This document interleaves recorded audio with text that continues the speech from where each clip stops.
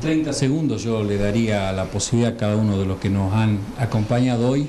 Empezamos con Buenaventura David de la CTA para que vamos haciendo un acercamiento y un cierre ya de nuestro programa, ya que el tiempo se nos fue. Sí, yo lo voy a utilizar más bien, eh, estamos ante el 12 de octubre, ¿no? que también es una fecha histórica, yo creo que fue el último grito de libertad de nuestro pueblo originario. Y a pesar de que hemos transcurrido 500 años, digamos, de sometimiento a, nuestros hermanos y hoy continúan estas políticas. Así que me parece que la reflexión va a eso, que debemos ser capaces de construir un movimiento nacional y popular que tenga que ver con todos los sectores sociales y que podamos cambiar en definitiva estas políticas. Gracias. Nora Jiménez. Bueno, eh, es decir que esto es un logro, poder contarle a la gente que este juicio es un juicio ejemplar. Realmente lo que decía Fernando ha empezado en abril durante todos estos meses. Los acusados han podido ejercer su derecho a la defensa, escuchar las acusaciones. Esto es recuperar la justicia en serio. Eh, queda mucho para hacer, eh, sin duda ha sido, es un logro también que los juicios sean orales y públicos que todo el mundo pueda verlos a través de la televisión, escucharlos a través de la radio, que esto quede filmado, grabado, es eh, documentado para las generaciones que vienen y decirle a la gente que todavía en esta provincia de Salta, donde se ha peleado muchísimo para llegar a este juicio, al juicio de Palomita, nos quedan 200 casos y hay mucho para hacer. Todavía tenemos más de 180 desaparecidos, casos que no se han investigado y casos donde todavía no se ha hecho justicia. Y pedirle a los salteños que acompañen a las organizaciones de derechos humanos, a las madres de Plaza de Mayo, a las abuelas, a la Fundación Ragone, a todos los que estamos trabajando por este acto de justicia, para que nada quede impune en esta provincia, para que realmente recuperemos la justicia. Gracias, Nora. Excelente punto de vista. Gladys, tu punto de vista.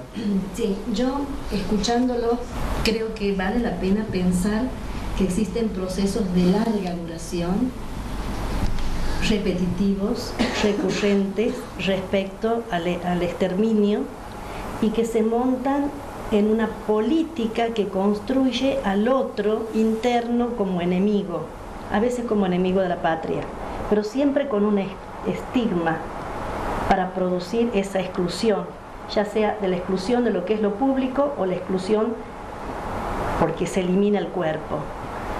Nosotros cuando en este último tiempo repetidamente vamos eh, y celebramos los juicios y la sentencia, estamos renovando una vocación de, eh, elección de determinadas instituciones y que esas instituciones que son eh, elegidas por nosotros, por eso las usamos y las valoramos, tienen que ser enseñadas. Aquí tiene que haber un proceso pedagógico de educación de lo que es la democracia. No vale solamente con la participación. Muchas gracias, Claudio. Fernando.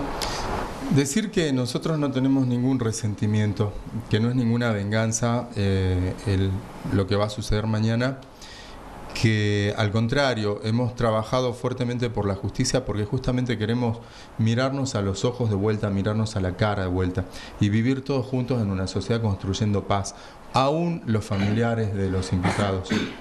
Creo que eso nada más. Quique.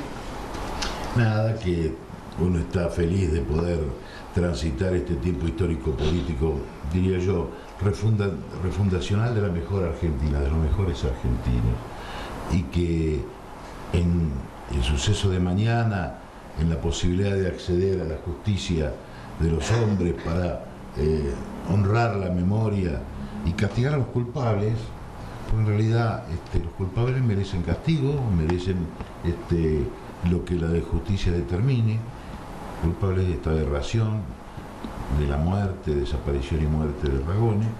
Digo, no es más que es, es este, un ícono del complejo de justicia de la vida humana, que también, porque también hay injusticia en aquel que le falta un par de zapatos, un pedazo de pan y un techo vamos en el buen camino. Bien, ahora Carlos Talice, nuestro invitado también. Sí, lo que quisiera, la reflexión que quisiera trasladar es, que, o transmitir, es que hoy vivimos con un gobierno que nos permite todo esto.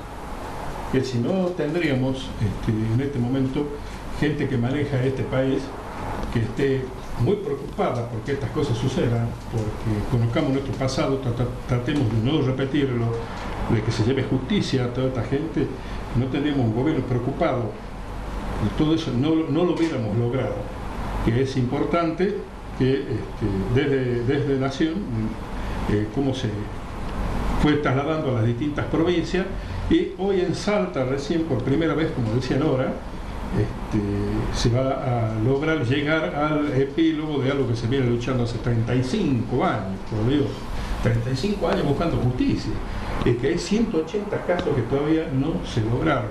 Creo que Salta, la justicia de Salta tiene una deuda muy grande con su pueblo.